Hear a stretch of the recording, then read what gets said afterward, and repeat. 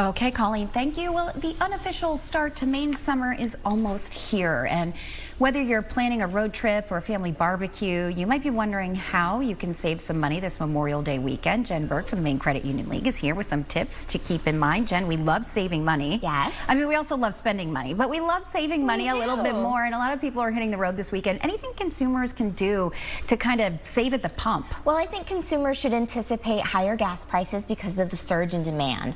Right now, now the average cost of gas in Maine is $3.56 a gallon. So when you are getting out on the road, if you're taking to the highway, think about making sure your tires are properly inflated, watching your speed, making sure you're going the most fuel efficient route possible, and download one of those easy apps that can show you which gas station has the, the, the cheapest price so that you get the most bang for your buck. So all those little things can kind of help your fuel economy, which will help you put money back in your pocket. Which we love. Mm -hmm. um, what if you're staying put this weekend? Any ideas if maybe you're having friends over, any ways to save? Yeah, if you're doing a barbecue, I would say, you know, if you're feeding a large crowd, hamburgers and hot dogs are typically the, the, the cheapest way to go. If you want steak or chicken, you know, by all means, shop around for those items. Even check local butcher stores. Folks are going to have sales this weekend, so you want to make sure you're getting the best prices.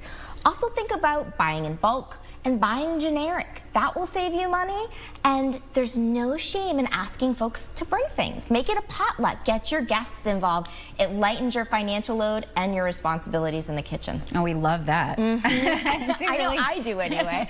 exactly. So what happens, uh, you know, if grilling isn't on the agenda? Any inexpensive ideas or activities, yeah. maybe? Well, think about what this weekend is for. It's to honor those who made the greatest sacrifices for our country. So call your city hall, call your town office and see if your town or city is holding a Memorial Day parade and take the family out and go support um, right local. Also, another great idea, if, especially if you have little kids, write letters to soldiers.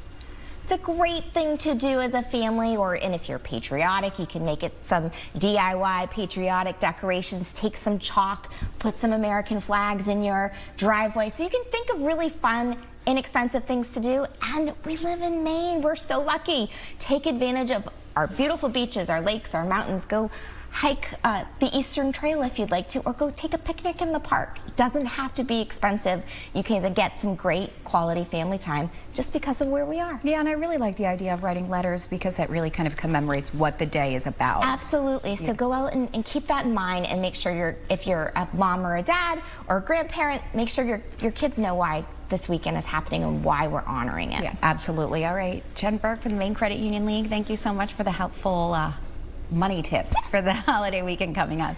Thank and you. now here's a look at what else is coming up today on Channel 8.